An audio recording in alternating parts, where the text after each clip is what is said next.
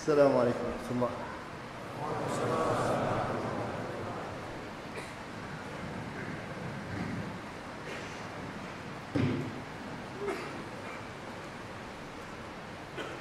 إن الحمد لله نحمده ونستعينه ونستغفره ونعوذ بالله من شرور أنفسنا وسيئات أعمالنا.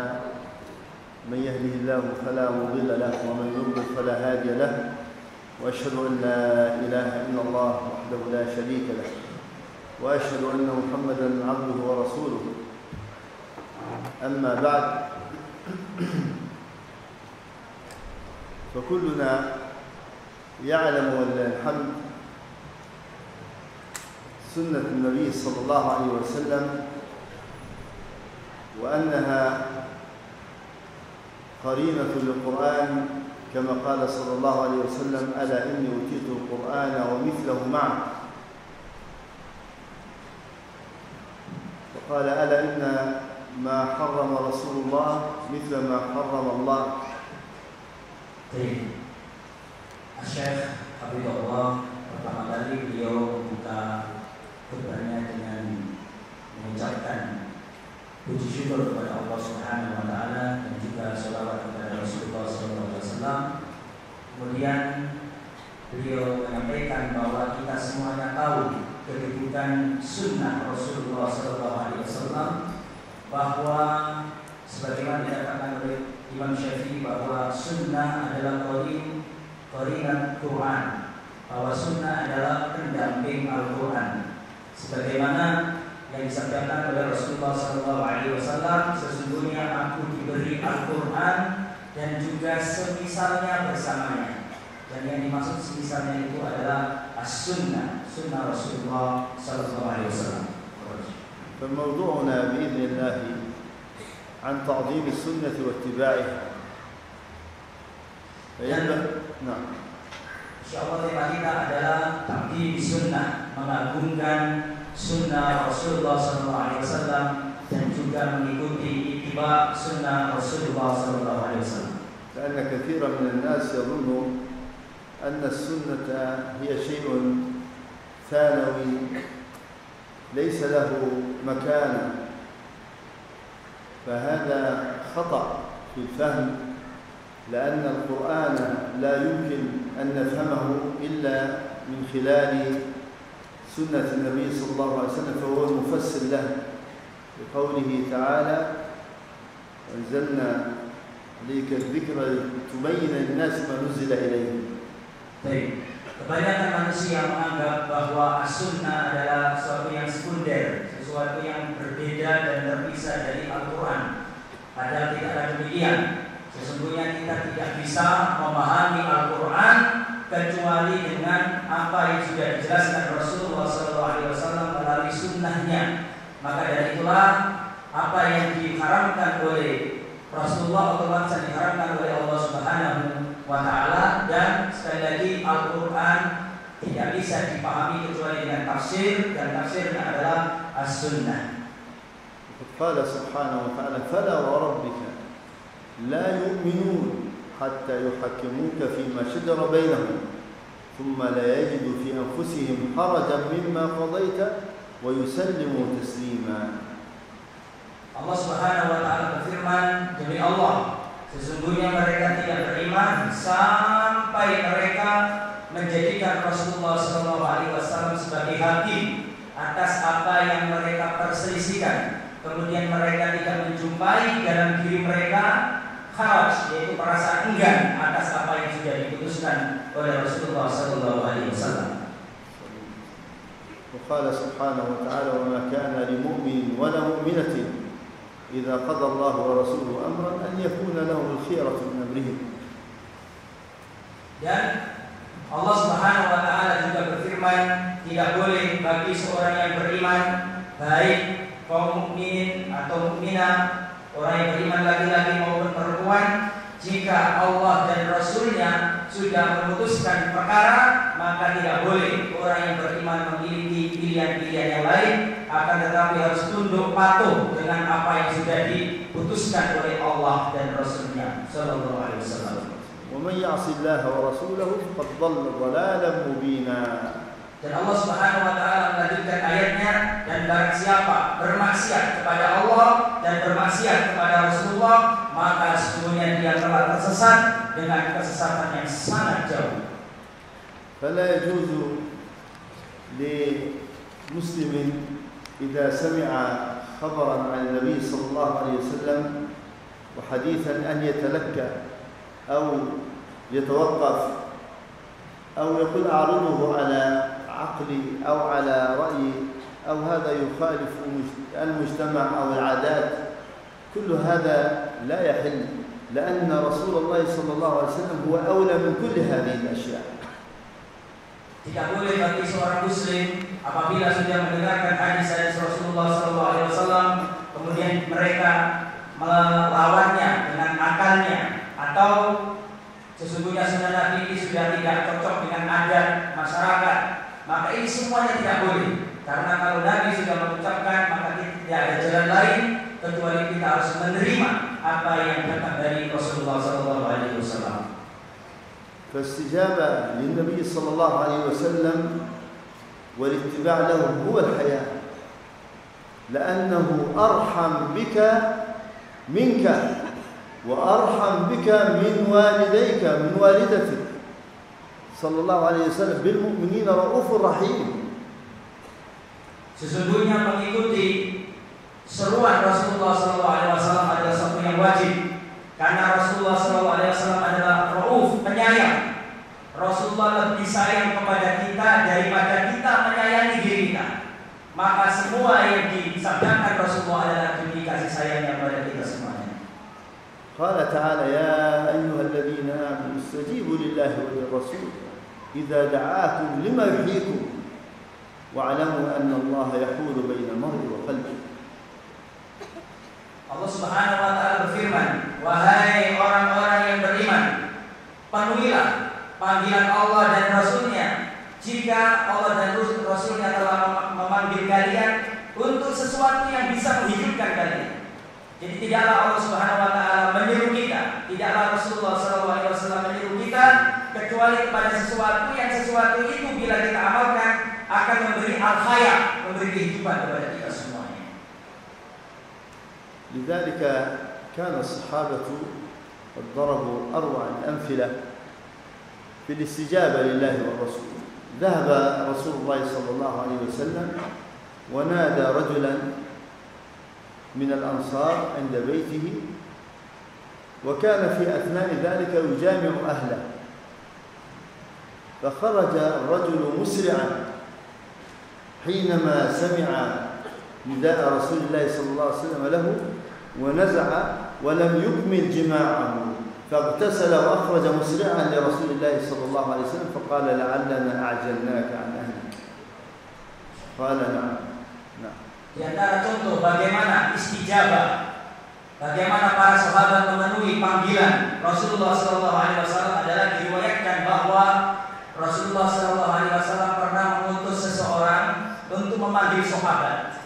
Kemudian kebetulan sahabat tadi yang dipanggil sedang dalam kondisi berhubungan badan, al-jima, jima bersama istri beliau. Ketika sahabat yang sedang melakukan jima ini mendengar seruan Rasulullah SAW, ada seorang utusan yang memanggilnya, maka seorang sahabat ini segera langsung memutus jimanya dengan istrinya dan segera segera untuk mandi dan segera menghadap Rasulullah SAW. فلم يقل انتظر قليلا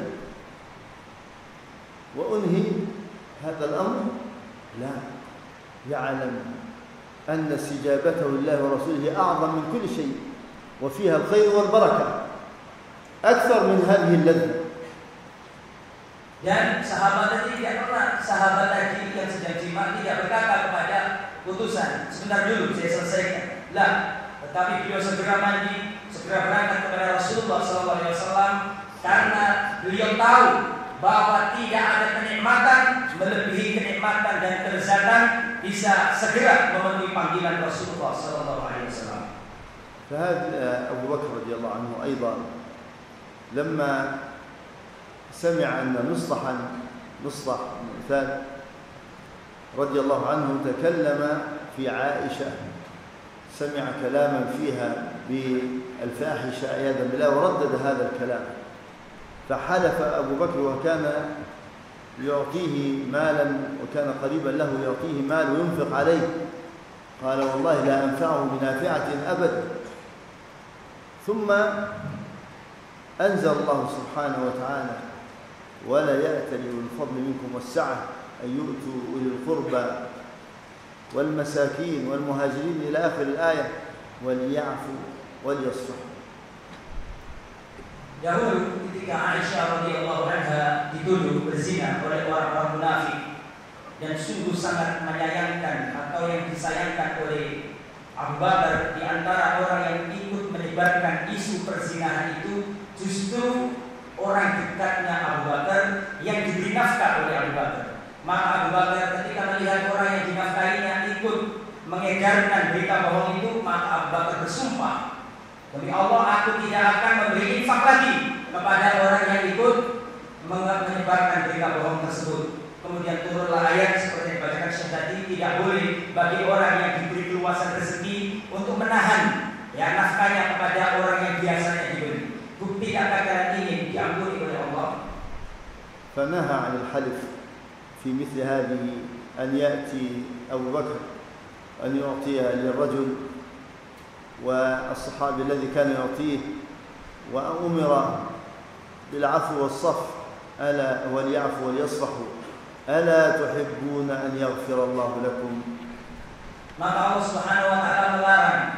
Allah turunkan ayat melalui Rasulullah SAW melarang Abu Bakar untuk bersumpah menahan nafkahnya kepada kerabatnya. Kemudian di ayat tersebut dikatakan ala tuhibbuna an yaghfirallah an yaghfirallahu lakum. Tidakkah engkau ingin Allah mengampuni dosamu wahai Abu? فقال أبو بكر بلى والله يا ربنا إنا نحب أن تغفر لنا وعاد له بما كان يصنع وينفق عليه Maka ketika mendengarkan firman Allah, tidakkah engkau ingin Allah mengampunimu? Maka seketika ini juga Abu Bakar mengatakan, Bala ya Rasulullah, aku akan teruskan nafkahku kepada kerabatku yang telah menyebarkan isu tersebut. Karena aku ingin diampuni oleh Allah Subhanahu wa Ta'ala. فيجب علينا قبل أن نفعل شيئا أو أن نقول شيئا ننظر في سنة النبي صلى الله عليه وسلم أولا هل فعل ذلك رسول الله هل حث على ذلك رسول الله هل أمر بذلك رسول الله صلى الله عليه وسلم يا أيها الذين آمنوا لا تقدموا بين يدي الله ورسوله Maka sudah menjadi kewajiban kita sebelum melakukan sesuatu amalan di dalam agama, maka kita harus melihat apa yang ada pada diri Rasulullah. Apakah ini dulu diperintahkan Nabi? Apakah ini dulu dituntunkan Nabi? Apakah dulu Rasulullah pernah mengerjakannya? Bukankah Allah Subhanahu wa taala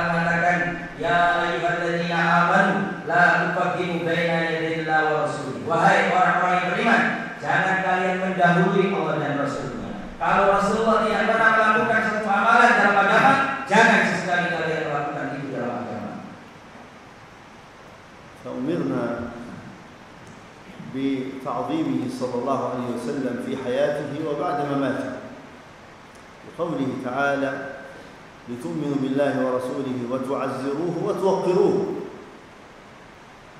يعني أمرنا بتفخيمه وتسويده وتشريفه وتعظيمه أعظم من كل شيء إلا الله سبحانه وتعالى Kita diwajibkan untuk selalu menghormati, memuliakan Rasulullah Sallallahu Alaihi Wasallam baik ketika hidup maupun ketika beliau sudah wafat. Dan Allah Subhanahu Wa Taala berfirman, hendaklah kalian beriman kepada Allah dan Rasulnya, menolongnya, membantunya, memuliakannya. Maka dari itu kita tidak boleh mengagungkan siapa saja di muka bumi kecuali illallah, kecuali Allah Subhanahu Wa Taala. لذلك الصحابة في حياته جاء رسول الله صلى الله عليه وسلم ومر على عبد الله بن أبي المنافق ف وكانت الأرض فيها غبار. النبي صلى الله عليه وسلم كان راكبا على حمار وجاء الغبار على هذا الرجل المنافق. فقال للنبي صلى الله عليه وسلم إليك عني. فوالله لقد آذاني نتن حمارك فقال رجل من الأنصار مدافعا عن رسول الله صلى الله عليه وسلم والله لحمار رسول الله صلى الله عليه وسلم أطيب ريحا منك. كانوا يعظمون النبي صلى الله عليه وسلم.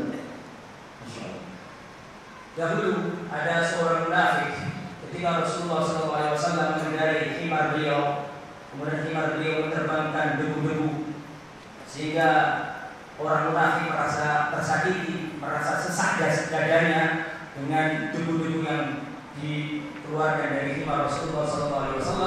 Maka orang munafik mengatakan, menjauhlah engkau dari aku wahai Muhammad. Sesungguhnya keledaimu telah menyakiti aku, membuat sesak aku. Ketika salah, salah seorang sahabat Ansor mendengar ucapan orang munafik ini, maka orang Ansor ini membela Rasulullah SAW dan mengatakan demi Allah sesungguhnya bau atau debu dari keledainya Rasulullah SAW lebih mulia, lebih bagus daripada engkau wahai orang munafik.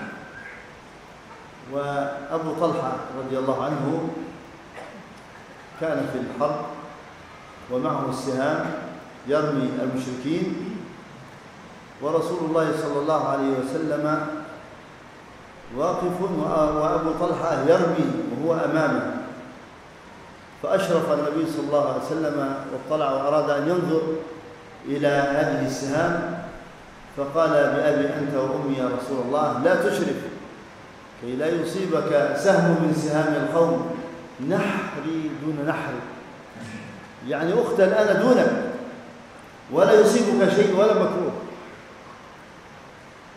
Diriwayatkan dahulu ketika perang Uhud kita tahu dalam perang Uhud banyak kaum muslimin yang kocar kacir dalam perang banyak orang-orang yang lari dari Rasulullah SAW salah satu sahabat Nabi yang kokoh selalu bersama Rasulullah SAW adalah Abu Talha. Beliau adalah seorang yang pandai memanah selalu melindungi Nabi memanah dan melindungi Nabi agar tidak agar tidak ada satupun senjata yang melukai Rasulullah SAW kemudian suatu ketika Rasulullah SAW ingin melihat ya atau berada di depannya Abu Talha maka Abu Talha mengatakan jangan ya Rasulullah saya khawatir ada satu anak panah yang akan menimpamu ya Rasulullah. Biarkan aku yang ada di hadapanmu dan biarkan leherku sebelum leher artinya apabila ada pasukan memanah biarkan leherku dulu yang tertembus ya Rasulullah sebelum leher engkau ya Rasulullah. Ini menunjukkan bagaimana cintanya sahabat Rasulullah sallallahu alaihi wasallam. لذلك كان الصحابة أيضا يتحلقون حوله وعليهم السكينة كأنما على رؤوسهم الطير هذا من تعظيمه Dulu para sahabat mendatangi Rasulullah Sallallahu Alaihi Wasallam, sedangkan para sahabat berkeadaan tenang, kemudian ke sangat damai, tidak ada orang yang mengeraskan suaranya di hadapan Nabi seperti seakan-akan di kepala-kepala sahabat itu ada ada burungnya. Saking tawaduknya para sahabat, saking tawaduknya para sahabat di depan Rasulullah SAW. حتى بعد وفاته صلى الله عليه وسلم عمر سمع في مسجد النبي صلى الله عليه وسلم رجلين ارتفعت أصواتهما فحصابه بالحصباء رمى عليهما حجرين. قال تعال. ترفعان أصواتكما في مسجد رسول الله صلى الله عليه وسلم. من أين أنتما؟ قال من أهل الطائف. قال لو كنتما من أهل المدينة لأوجعتكما ضربا. كيف ترفعان أصواتكما في مسجد رسول الله صلى الله عليه وسلم؟ تعظيم المسجد ليس هذا من تعظيم رسول الله صلى الله عليه وسلم. Para sahabat mengagungkan Rasulullah SAW ketika Rasulullah sudah wafat. Karena ada dua orang yang melempar bebatuan sehingga membuat gaduh di dekat kuburan Rasulullah SAW di masjid Rasulullah dan kita tahu di masjid Rasulullah di situ ada dekat kuburan Rasulullah SAW. Maka ditegur oleh seorang sahabat Nabi dan mengatakan, apakah kalian mengangkat suara ya di dekat makamnya Rasulullah SAW di masjidnya Rasulullah SAW. Min aina antuma? Dari mana kalian berdua ini? Maka orang berdua ini mengatakan kami dari Taif. Maka beliau mengatakan sesungguhnya aku dari Madinah, penduduk Madinah. Kami belajar adat dari Rasulullah bahwa tidak boleh berkata-kata keras di makam Rasulullah Shallallahu Alaihi Wasallam. Jadi tidak diperbolehkan kita mengangkat suara di uh, masjid atau di makamnya Rasulullah SAW. Pada Rasul sudah wafat, lalu bagaimana ketika Rasulullah SAW? Hadis Ibn Umar حدث بأن رسول الله صلى الله عليه وسلم قال لا تمنعوا إماء الله مساجد الله لا تمنعوا النساء المساجد إذا استأذنكم إليها. فقال بلال بن عبد الله بن عمر والله لا نمنعهن. فغضب عبد الله بن عمر وسبه سبا شديدا. وقال أقول لك قال رسول الله صلى الله عليه وسلم وتقول والله لا نمنعهن. فما كلمه حتى مات Diriwayatkan dari surat sahabat yang mulia Abdullah bin Umar bahwa beliau membawakan hadis Nabi Muhammad SAW La tamna'u bisa'akum al-masajiyah Janganlah kalian melarang wanita-wanita kalian Janganlah kalian melarang istri-istri kalian untuk pergi ke masjid Tiba-tiba ada orang yang bernama Bilal bin Abdullah Dia berkata kepada Abdullah bin Umar Wallahi aku akan melarang istri-istriku pergi ke masjid Maka Abdullah bin Umar memarahinya dengan kemarahan yang dahsyat, memarahinya dan mengatakan sesungguhnya aku sampaikan kepadamu hadisnya Rasulullah Sallallahu Alaihi Wasallam jangan kalian melarang wanita-wanita kalian pergi ke masjid. Saya sampaikan kepadamu hadisnya Rasulullah Sallallahu Alaihi Wasallam kemudian kamu katakan saya tetap akan melarang istri saya. Maka Abdul bin Umar mengatakan jadi Allah aku tidak akan mengajak berbicara dan orang tadi itu tidak diajak bicara oleh Abdullah bin Umar sampai dia wafat. Karena dia telah menentang hadisnya Rasulullah Shallallahu Alaihi Wasallam. وقد سئل الشافعي رحمه الله عن مسألة فقال قضى فيها رسول الله صلى الله عليه وسلم بكذا وكذا قال رجل للشافعي ما تقول أنت قال سبحان الله تراني في كنيسة تراني خرجت من بيعة ترى على وسطي زمار يعني مثل النصارى أقول لك قال رسول الله وأنت تقول ما تقول أنت ليس لي قول إلا ما قال رسول الله صلى الله عليه وسلم Baik, ada seorang yang dibacakan hadis Rasulullah Sallallahu Alaihi Wasallam, Imam Syafi'i membacakan hadis Rasulullah Sallallahu Alaihi Wasallam tentang ini dan itu, kemudian orang ini berkata, apakah engkau mengambil hadisnya Rasulullah ini? Maka Imam Syafi'i marah dan mengatakan, Kif, apakah aku ini pergi ke gereja? Apakah aku ini masuk ke biara-biara? Sampai kau katakan, apakah engkau mengambil hadisnya Rasulullah? Bagaimana mungkin aku tidak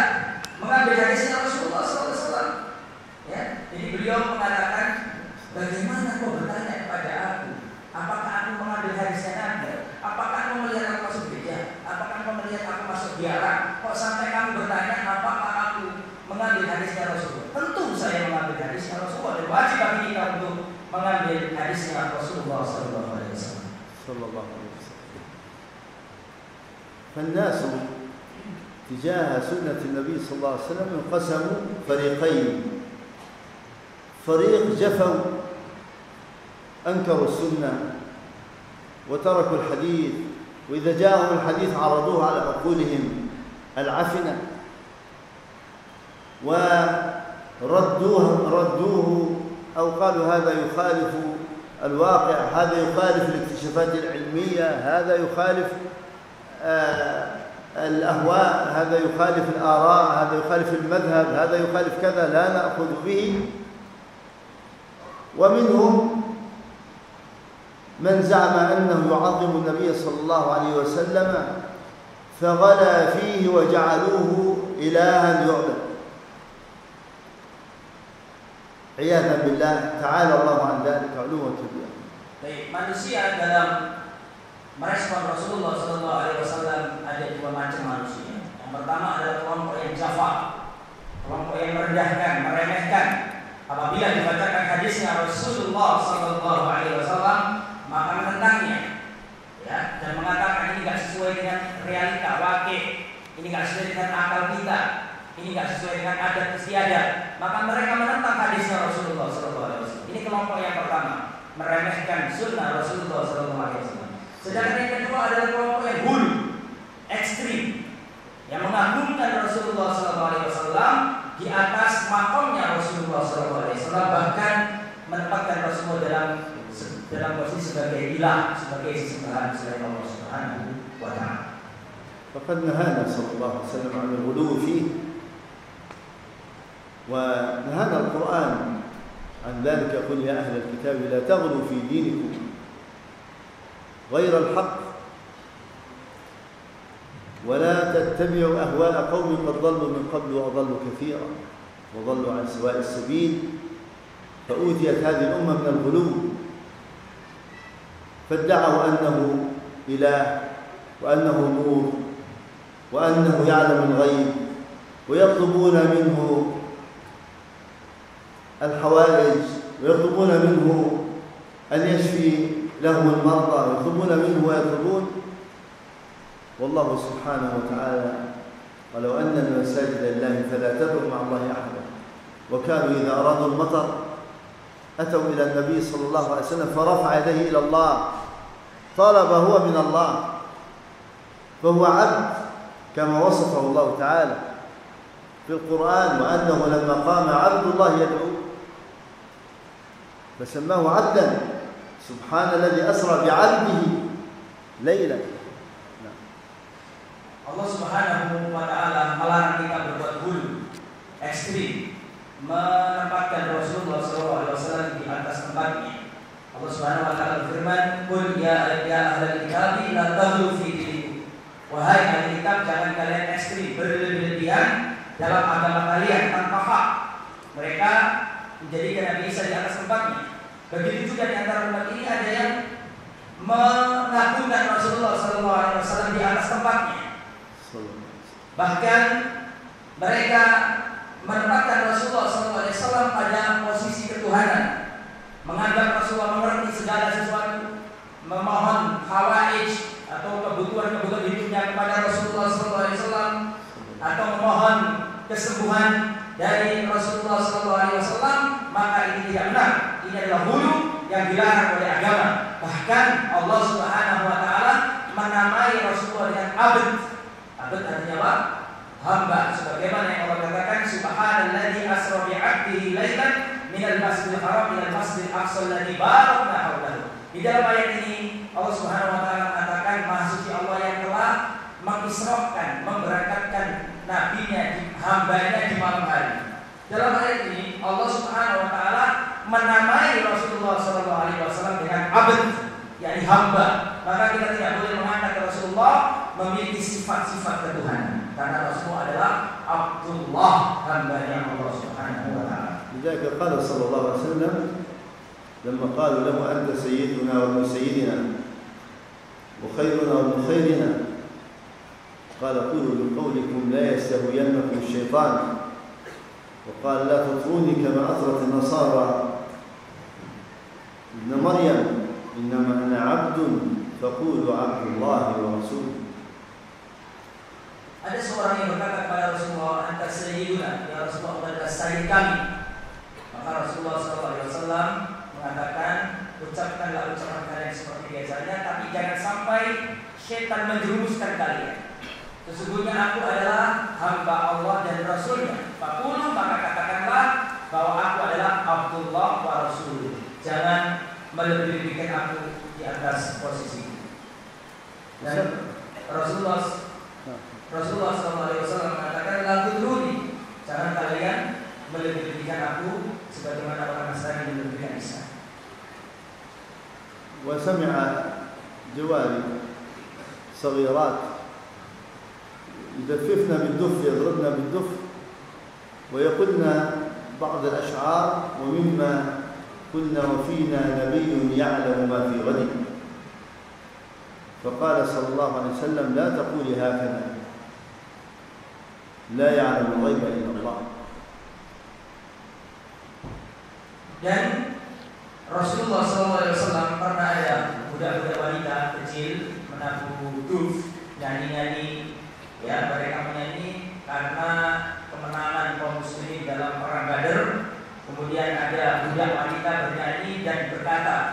syairnya itu dalam syair liriknya yang mengatakan wafina nabi yang ya'lam ma fi Sesungguhnya di antara kami ada seorang nabi yang nabi ini mengerti apa yang akan terjadi esok hari.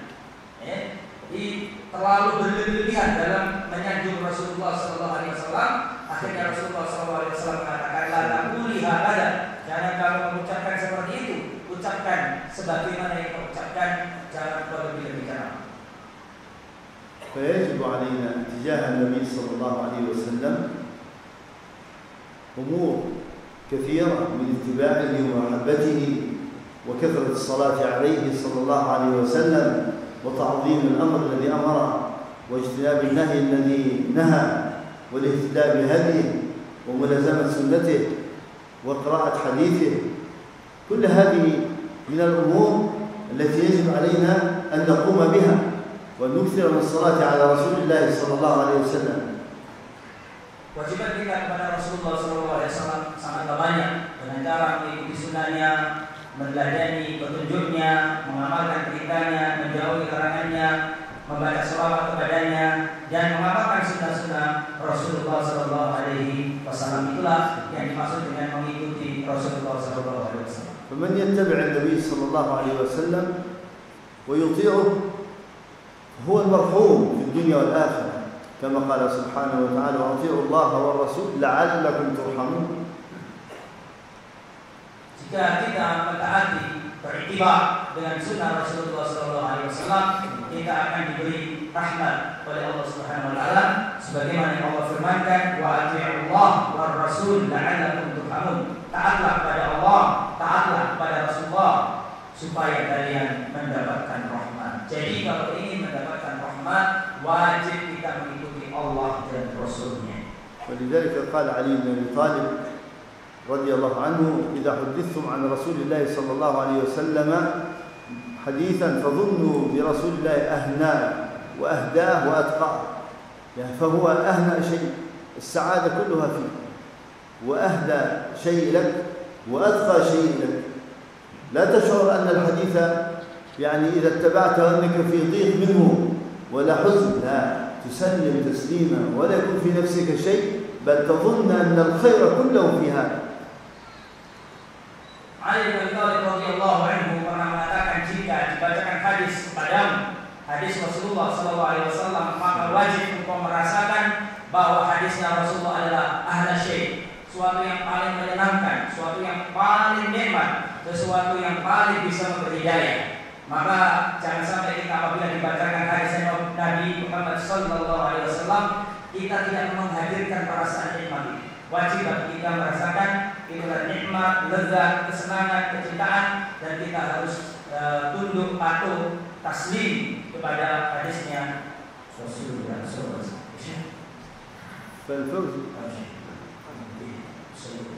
نعم. نصلي. الآن الآن الأذان طيب طيب.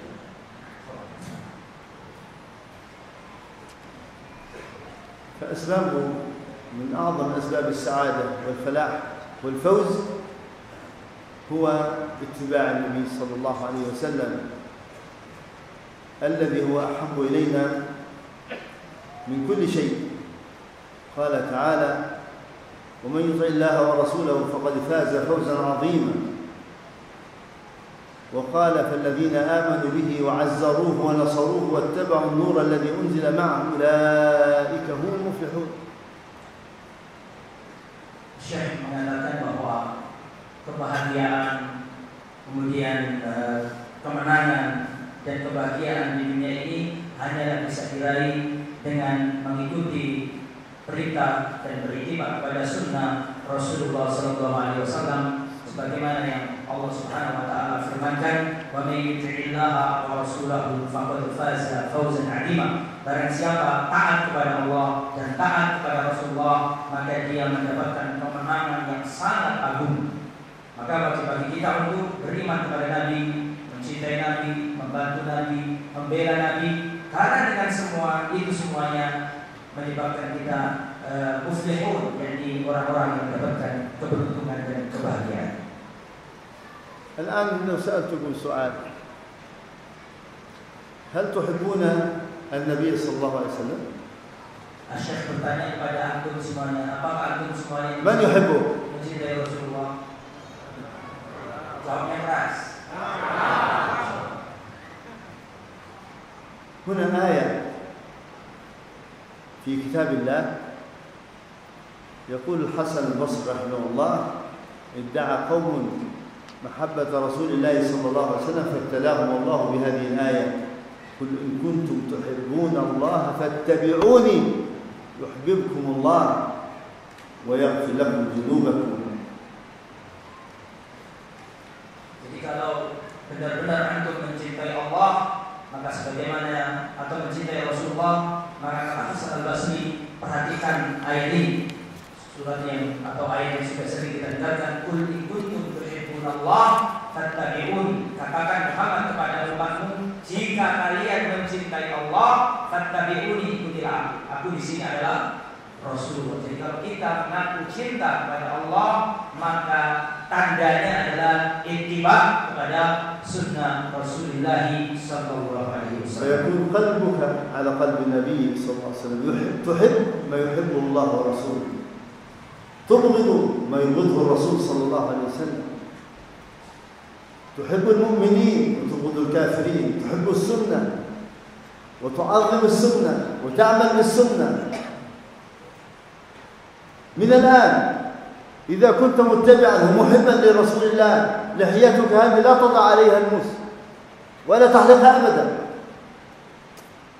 من الآن تعاهد الله على هذا أو هي كلمات فقط Jika kita benar-benar mencintai Allah dan Rasulnya Maka kita harus mencintai apa yang dicintai Allah dan Rasulnya Jika kalau kita mencintai Allah Maka kita harus membenci apa yang dibenci Allah dan Rasulnya Kita harus mencintai apa yang dicintai oleh Rasulullah, membenci apa yang dibenci oleh Rasulullah. Kita wajib mencintai orang yang beriman dan kita harus membenci orang-orang kafir. Itu baru kita akan kita beritibat kepada Rasulullah SAW. Jangan sampai cinta kita hanya di kalimat Muhibbu Rasul, Muhibbu Rasul, Muhibbu Rasul. Hanya di kalimat saja. Lah, tetapi kita buktikan itu dengan beritibat kepada Rasulullah SAW. Kalau عمر للنبي صلى الله عليه وسلم لأنت يا رسول الله أحب الناس إلي إلا من نفسي. كانوا صادقين. قال لا يا عمر حتى أكون أحب إليك من نفسي. تأمل عمر ثم قال لأنت الآن أحب إلي من نفسي يا رسول الله. قال الآن يا عمر Umar bin Khattab radhiyallahu anhu pernah mengatakan, engkau ya Rasulullah adalah orang yang paling aku cintai. Ya, setelah diri, selain diri. Artinya aku lebih cinta, aku mencintaimu ya Rasulullah, tapi aku masih cinta diri. Maka kata Rasulullah, belum wahai Umar sampai engkau mencintai aku melebihi semua cintamu kepada siapa pun. Kalau kau sudah seperti ini bahwa berarti kau sudah bisa bercinta. Kemudian Umar mengatakan, sekarang ya Rasulullah, engkau lebih aku cintai daripada siapa saja. Maka kata Rasulullah, sekarang Umar baru kamu beriman kepada aku dan mencintai aku. لذلك لا يؤمن أحدكم حتى أكون أحب إليه من ولده ووالده والناس أجمعين يعني حتى من نفسك تحب النبي صلى الله عليه وسلم أكثر من نفسك Kita harus mencintai bagaimana dalam hadis Rasulullah SAW kalian tidak beriman sampai kalian mencintai aku daripada mencintai anaknya, bapaknya dan seluruh manusia. Ya, tidak beriman sampai kalian menjadikan aku lebih dicintai daripada semuanya, bapakmu, anakmu dan uh, dirimu sendiri. Baru kalau kita sudah bisa seperti itu, baru kita beriman dan mencintai Rasulullah SAW. فتريد أن تكون مع النبي صلى الله عليه وسلم في الجنة Apakah antum semuanya ingin bersama Rasulullah di surga?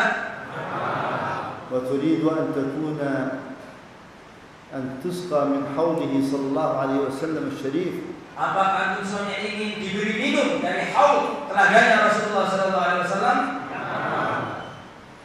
فرسول الله صلى الله عليه وسلم يرده الناس من أمته يعرفهم يرثون كلهم فبينما يقول هؤلاء أمتي يعرفهم من أثر الوضوء وإذا بأناس يذادون ويدفعون عنه عن حوله صلى الله عليه وسلم. فأقول أمتي أمتي. فيقال لي إنك لا تدري ما أحدث بعدك. أتوا بخالفوا أمرك واتبعوا أهواءهم.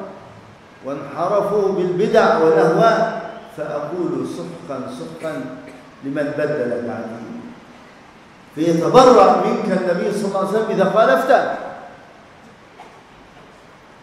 Nanti pada hari kiamat semua yang mengaku umat Rasulullah SAW akan memasuki telaga Rasulullah SAW. Mereka ingin memasuki telaganya Rasulullah SAW. Rasulullah melihat mereka dan Rasulullah mengenali mereka. Kemudian ada di antara umat Nabi yang diusir, ditolak, tidak boleh masuk telaga. Kemudian Rasulullah SAW ingin memberi syafaat kepada mereka dan Rasulullah mengatakan, Ya Rabbi ummati, ummati, Ya Allah umatku, Ya Allah umatku, biarkan mereka masuk. Akan tetapi dikatakan kepada Muhammad, Inna kala tadri ma'ahdathu badaka. Wahai Muhammad, kamu tidak tahu apa yang mereka ada-adakan seperti kamu. Jadi orang-orang yang membuat aturan baru, mengadakan maka tertolak dari telaganya Nabi dan Nabi mengatakan suhman suhman jauhlah celaka menjauhlah tidak bisa dan Rasulullah SAW pada hari kiamat berlepas diri dari hambanya atau dari umatnya yang telah menyelisih perintahnya. Dan Ittiba' Nabi sallallahu alaihi wasallam yunji min ad-dhalal, ya taraku fikum amrayn ma lan tadillu ma in tamassaktum bihima kitab Allah wa sunnah. Dan Rasulullah SAW bersabda, sesungguhnya aku tinggalkan bagi kalian dua hal. Kalian tidak akan tersesat selama-lamanya selama kalian berpegang teguh dengan dua hal ini, yaitu Alkitab, kitab Allah yaitu Al-Quran dan juga yang kedua sunnah Rasulullah SAW. لذلك يقول الإمام الزهري رحمه الله ومن أئمة التابعين يقول السنة سفينة نوح من ركبها نجا maka dari itulah Imam Malik Zuhri Az-Zuhri Az-Zuhri mengatakan uh, as-sunnatu safinatu nuh man raqibaha najah wa man takhallafa anha ghariqa. Beliau mengatakan barang siapa ya sesungguhnya sunnah itu, sunnahnya Nabi itu ibarat perahunya Nabi Nuh. Barang siapa yang naik selamat dan barang siapa yang tidak mau naik celaka tenggelam binasa. Maka kita kalau ingin selamat harus mengikuti perahunya Nabi Nuh dan perahunya Nabi Nuh saat ini adalah sunnah Rasulullah SAW. وفي اتباع النبي صلى الله عليه وسلم والتسليم لأمره خير وبركة في الدنيا والآخرة فمثلا حديث ابن سلمة لما توفي أبو سلمة كان وكان النبي صلى الله عليه وسلم حدثهم أن يقولوا إذا مات للعبد الميت أن يقول إنا لله وإنا إليه راجعون اللهم أجرني في مصيبتي وأخلف لي خيرا منها. فقالت أم سلمة ولكنها رجعت لنفسها من خير من أبي سلمة؟ كيف يبدلني الله عز وجل خيرا منه؟ فأبدلها الله رسول الله صلى الله عليه وسلم خير منه أو Diriwayatkan dari Ummu Salamah radhiyallahu anha bahwa beliau pernah mendengar Rasulullah SAW bersabda barang siapa mendapatkan musibah maka adalah dia membaca doa inna lillahi wa inna ilaihi rajiun. Allahumma junni fi musibati wa akhlif li khairan minha kemudian Ummu Salamah ini mendapatkan musibah yaitu wafatu wafatnya uh, suami beliau yaitu Abu Salamah. Maka beliau ingin mempraktekkan hadis Nabi Beliau mengucapkan inna lillahi wa inna ilaihi rajiun. Allahumma ajurni fi musibati. Ya Allah berikan pahala atas musibah yang menimpa ini wa akhlif li khairan minha dan berikan ganti yang lebih baik dari musibah ini. Pertama kali Ummu Salamah enggan untuk membaca karena beliau e, merasa dalam hatinya siapa yang lebih baik daripada Abu Salamah. Abu Salamah lebih afdal lebih mulia. Maka ketika beliau membaca ragu-ragu. Tapi karena ini adalah sunnah Nabi ini adalah perintah Nabi akhirnya dibaca oleh Ummu Salamah dan dia mengatakan wa aslih li khairatiha maka apa yang terjadi? Karena beliau e, melaksanakan sunnah Rasulullah Allah Subhanahu wa taala menggantikan suami beliau dengan yang lebih baik daripada Abu Salamah yakni Rasulullah sallallahu alaihi wasallam.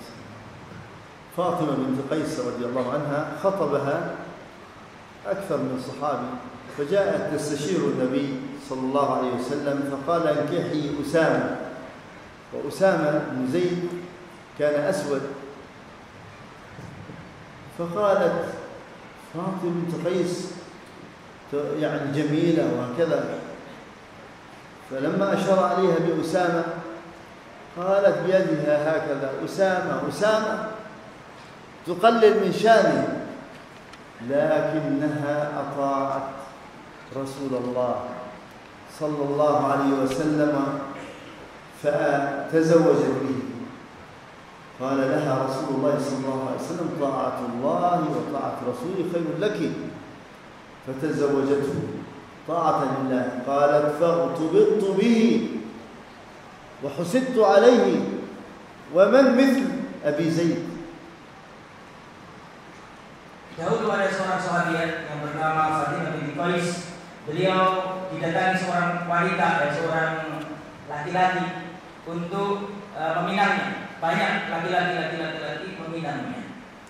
Terus Fatimah binti Qais ini datang ke Rasulullah SAW minta pendapat. Ya Rasulullah siapa yang aku harus menikah dengannya?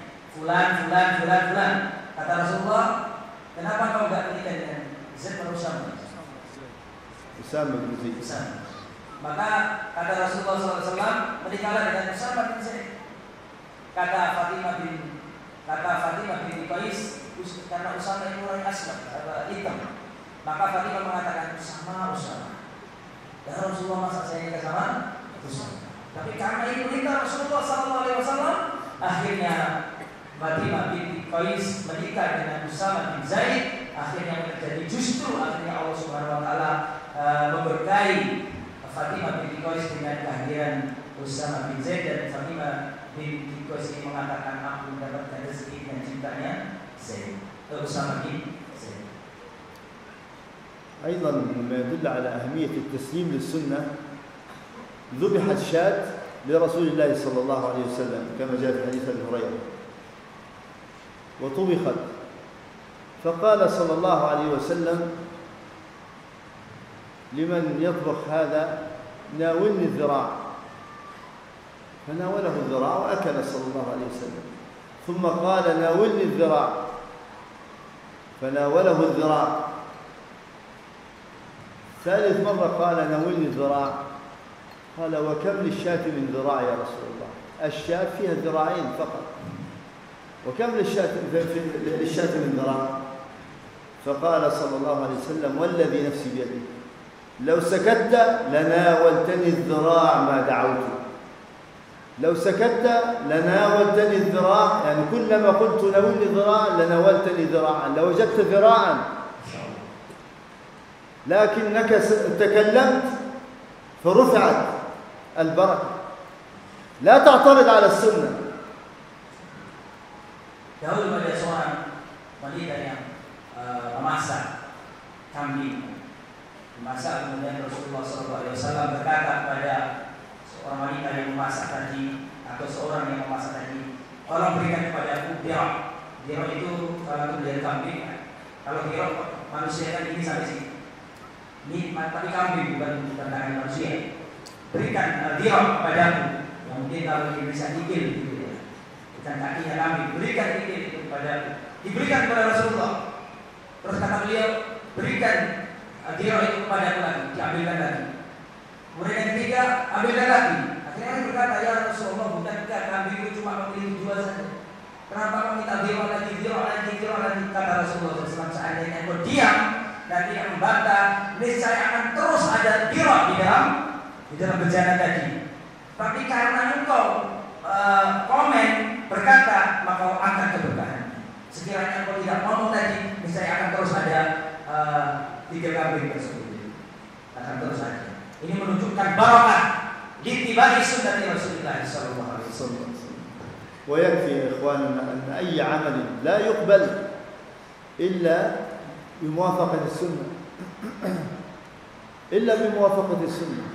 لو أننا اليوم الآن صلينا العشاء ست ركعات أو ثمان ركعات فقال أحدنا صلي ثمانية خير.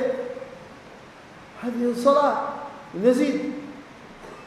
هل يقبل الله هذه الصلاة؟ لا يقبلها. ولو صليت مئة ركعة لا يقبلها الله. لماذا؟ لأن النبي صلى الله عليه وسلم لم يصلي أكثر من أربع ركعات. Sesungguhnya ibadah kita, amal ibadah kita diterima oleh Allah jika apa yang kita lakukan tadi cocok dengan sunnah Rasulullah Sallallahu Alaihi Wasallam.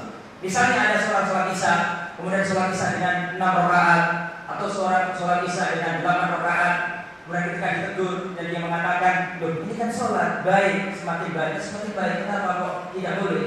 Maka kita katakan sholatmu tidak diterima oleh Allah Subhanahu Wa Taala. Karena Rasulullah SAW tidak pernah sholat uh, isya lebih dari empat rakaat yang diajarkan Rasulullah adalah empat rakaat. Seandainya engkau sholat dengan mi'ah rakaat yaitu seratus rakaat tidak akan diterima oleh Allah Subhanahu Wa Taala karena tidak sesuai dengan sunnah Rasulullah Sallallahu Alaihi Wasallam. لذلك يحذر أن تخالف فيخالف الله بينك وبين قلبك عياذا بالله ويضلك الله بمخالفة السنة كما قال سبحانه وتعالى فلما زاغوا زاغ الله قلوبهم قال الصديق الأكبر أبو بكر رضي الله عنه لست تاركا شيئا شيء يسير. لست تاركا شيئا كان رسول الله صلى الله عليه وسلم يعمل به. إني أخشى إن تركت شيئا من أمره أن أزيغ. Kita tidak boleh untuk menyelisih perintah Rasulullah Wasallam. Kalau sampai kita tidak mengikuti petunjuk Rasulullah Wasallam, Allah akan memalingkan hati kita. Uh, Allah Subhanahu Wa Taala berfirman, "Falamma zahu azaballahu qulubahum." Ketika mereka menyimpang, maka sekalian Allah jadikan dia semakin menyimpang. Mengomentari ayat ini, Abu Bakar As-Siddiq radhiyallahu anhu mengatakan, tidak pernah aku meninggalkan apa yang pernah dikerjakan oleh Rasulullah SAW. Ah, tidaklah sesuatu yang ditinggalkan yang dikerjakan Rasulullah kecuali pasti aku akan melakukannya. Karena aku khawatir jika aku meninggalkan apa yang dikerjakan Rasulullah, maka aku termasuk menjadi orang-orang yang sesat. Abu Bakar tidak pernah meninggalkan amalan yang pernah dilakukan Rasulullah Sallallahu Alaihi Wasallam. لذلك ذهب النبي صلى الله عليه وسلم لرجل يعود كان مريضا كان يصيب بحمى فقال له النبي صلى الله عليه وسلم لا بأس تطهور إن شاء الله قال تقول طهور بل هي حمى تفور على شيخ كبير تزيره القبور. فقال صلى الله عليه وسلم فنعم إذا. يعني هذه الحمى شديدة وستقتلني ولا ولم يقبل أن يقول له النبي صلى الله عليه وسلم لا بأس طهور. فكان من النبي صلى الله عليه وسلم قال خلاص أنت دعوت على نفسك فنعم إذا فما أصبح الرجل إلا ميتا لأنه اعترض على السنة Rasulullah SAW pernah menjumpai seorang yang sedang terserang penyakit humma. Apa artinya humma? E, demam, demam e, panas dingin begitu. Kemudian didoakan oleh Rasulullah SAW tidak sabahu tidak mengapa insya Allah ini sebagai bentuk dosa. Akan tetapi orang ini menyangka, eh bagaimana orang yang menderita humma kok dikatakan tidak mengapa ini tohut insya Allah. Maka orang ini mendoakan kejelekan dirinya dan tidak terima dengan apa yang didoakan Rasulullah tohut. Maka ketika orang ini tidak mau didoakan Nabi karena Nabi ya sudah kalau itu sesuai dengan doa tadi. Maka akan terjadi akhirnya orang ini mati karena terserang penyakit demam. Inilah akibat buruk dari menolak sunnah atau doa Rasulullah Wasallam. قال السهر أكل النبي صلى الله عليه وسلم مع رجل فأكل الرجل بشماله فقال كل بيمينك. قال لا أستطيع ما منعه إلا الكبر. قال صلى الله عليه وسلم لا استطعت. يعني ما دمت أنت تتكبر خلاص. الله لا يجعلك تستطيع. فما رفعها بعد شلت يده. مخالفة السنة. Rasulullah Shallallahu Alaihi Wasallam pernah makan bersama seseorang, kemudian orang makan pakai tangan kiri. Maka ditegur oleh Rasulullah Shallallahu Alaihi Wasallam, "Kul ini makanlah dengan tangan kanan, bukan tangan kiri." Maka dia mengatakan, "Aku nggak bisa makan pakai tangan kanan." Ya, padahal dia bisa, tapi menolak perintahnya Rasulullah SAW ketika diperintahkan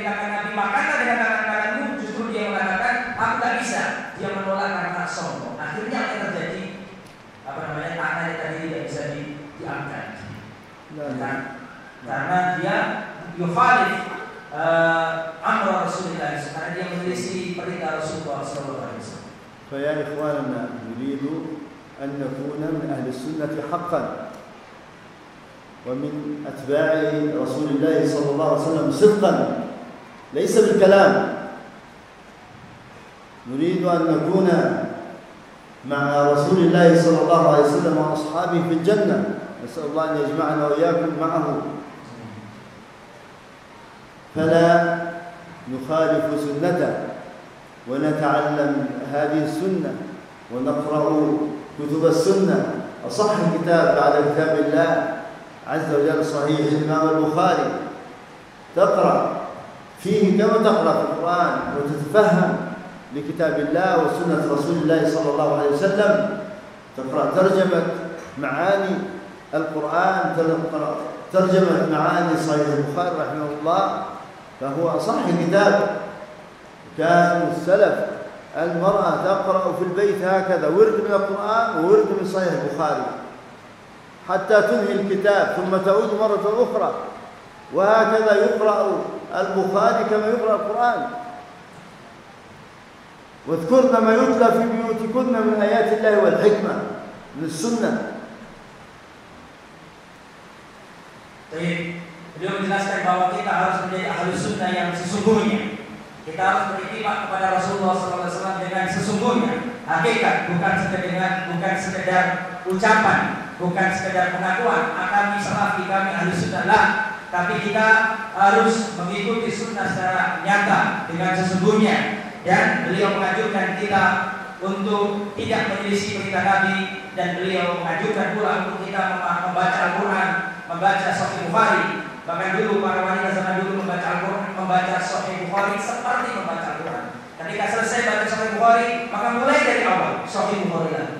Karena ini adalah uh, warisan Rasulullah SAW di dalam Sahih Bukhari terdapat sunnah-sunnah Rasulullah SAW. وبهذا نصل إلى نهاية كلمتنا هذه مع إخواننا ولا نريد أن نطيل عليكم أكثر من هذا. ونسأل الله سبحانه وتعالى الذي جمعنا في هذا المكان الطيب المبارك أن يجمعنا على سنة النبي صلى الله عليه وسلم وهديه وأن يجمعنا مع صاحب السنة عليه الصلاة والسلام في جنات النعيم. إنه ولي ذلك والقادر عليه. أقول قولي هذا وأستغفر الله لي ولكم. وصلى الله على محمد سبحانك اللهم ربنا وبحمدك أشهد أن لا إله إلا أنت أستغفرك وأتوب إليك. Di akhir kita beliau mendoakan kita semuanya semoga kita semuanya nanti dipertemukan Allah Subhanahu wa taala dalam kebaikan semoga kita semuanya dipertemukan oleh Allah Subhanahu wa taala di surga yang luas dan beliau mengakhiri tadi dengan bacaan kafaratul majlis subhanallahumma wa bihamdika asyhadu an la ilaha illa anta astaghfiruka wa atubu ilaik wa sallallahu alaihi Muhammad wa ala alihi wa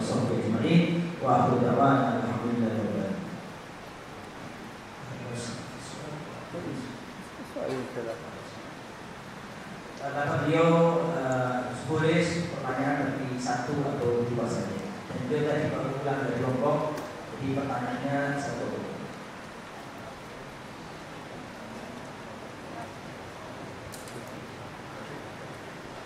Ustaz mohon izin ada.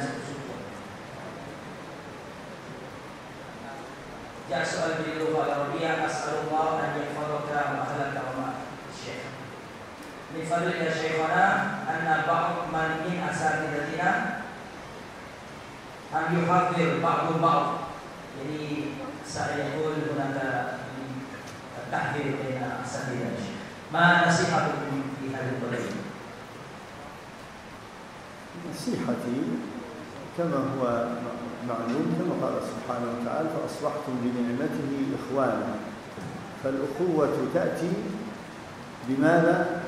بالتمسك بالكتاب والسنة كلما ازداد التمسك كلما كانت الألفة والمحبة ولذلك الله سبحانه وتعالى ألف بين قلوب أصحابه لماذا؟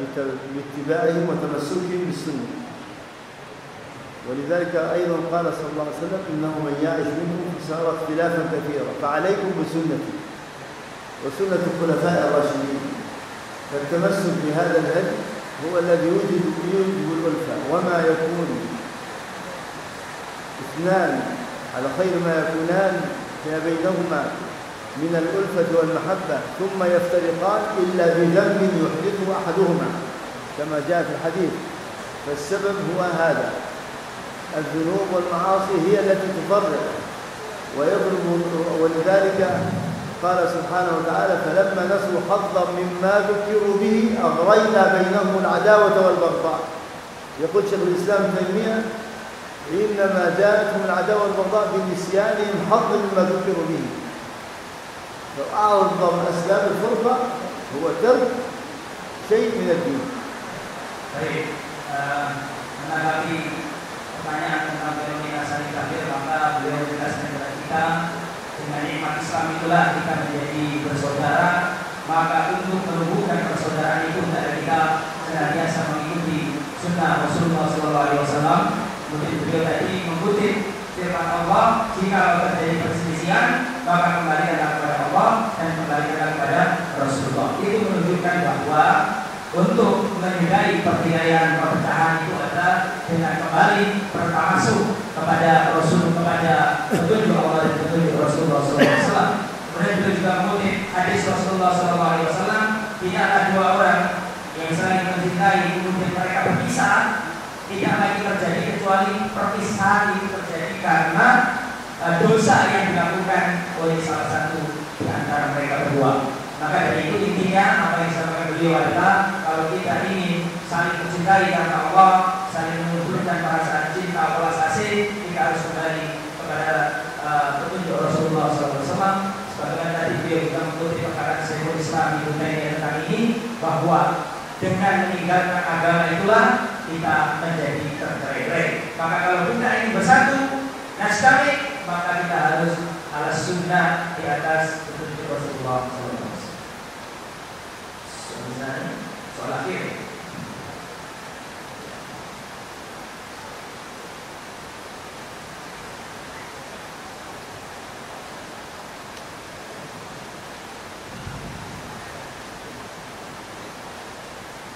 يا شيخ ما موقفنا نحن نريد ان نذهب إلى الحلقة والمحاضره ولكن آه الوالد الحدود ما موقفنا آه نحن كالابناء إذا كان الحضور لحلقات العلم والدروس فرض عين من الفروض العينية فلا طاعة للمخلوق في معصية الخالق. وإما إذا كان التعلم لأمور ليست من الفروض العينية فهي الفروض الكفائية كالعلوم علوم الآلة ونحو ذلك فهذا تسمع وتطيع لوالديك أما الكتاب والسنة فيجب عليك أن تتعلمهما وأن تتفقه فيهما الحلال والحرام والعقيدة والتوحيد كل هذا واجب عليك أن تتعلمه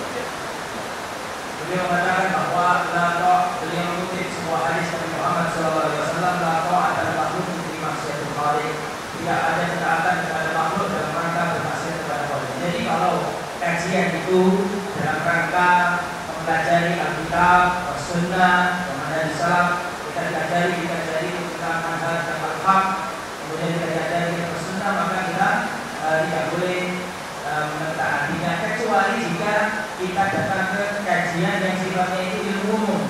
Ilmu-ilmu bukan agama, ilmu fisika atau matematika misalnya, kemudian ibunda atau bapak kita melarang, maka tentu kita mendahulukan uh, kedua orang tua. Tetapi kalau kajian itu ada kajian yang sifatnya uh, kita mempelajari yang bukan di sana, maka kita tidak apa untuk menjalani. Uh, yang kita cukupkan sampai di sini. Mudah-mudahan perjumpaan kita ini bermanfaat dan kita nasyur dan uh, semoga Allah Subhanahu wa taala membalas kebaikan dari Syekhana Syekh Walid bin Syekh An-Nasr Hafizahullah taala semoga apa yang beliau sampaikan menjadi ilmu yang bermanfaat dan kita selalu berdoa kepada Allah